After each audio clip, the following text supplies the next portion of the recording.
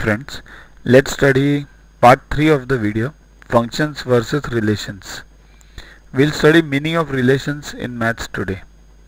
Before going to relations, you need to understand what are sets. Now what is a set? A set is a collection of well-defined objects of a particular kind. You sit in a class. The whole class is a set. A set of outcome of dice how many outcomes can be there? A set of english alphabets. Your family. It's a set.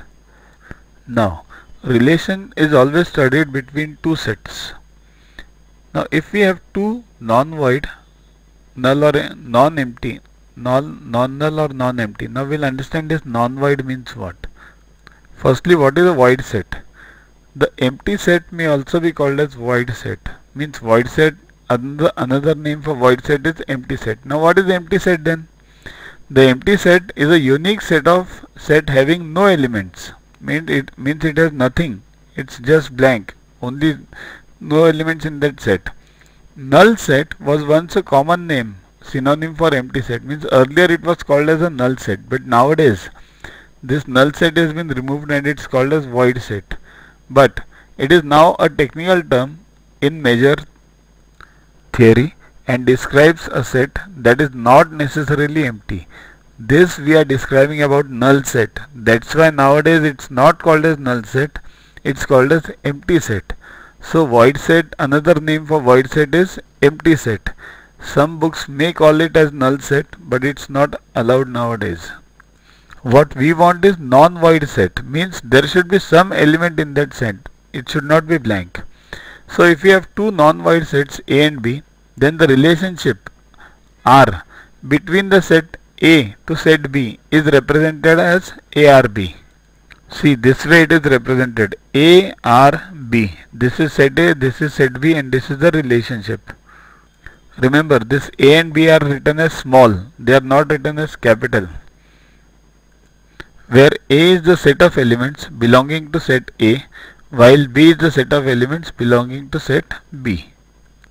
Then relationship from, from relation from a set A to set B is a subset of Cartesian product of A and B that is subset of A cross B. Let's understand Cartesian first. If A and B are two non-empty sets then the Cartesian product A cross B is a set of all ordered pairs of elements from A and B.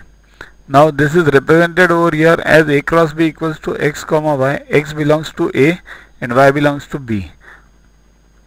Let's see an example. If a is this set 7 and 8, b is a set of 2, 4, 6, we have to find out a cross b means Cartesian of a and b. Here, to find the Cartesian we have to group each element of a with each element of b. 7 with 2, 7 with 4, 7 with 6, 8 with 2, 4 and 6. Here 7, 2, 7476 similarly 828486 you can put comma also instead of this semicolon over here. So the final output of a cross b is all these elements. We can represent these elements in form of matrix also like this. If there were three sets then it would have taken a cuboidal form. So let's move back to our basic. So the relation is a subset of this Cartesian product it means ARB will always be a subset of this part. Means one or two elements from this only. It can't be beyond this.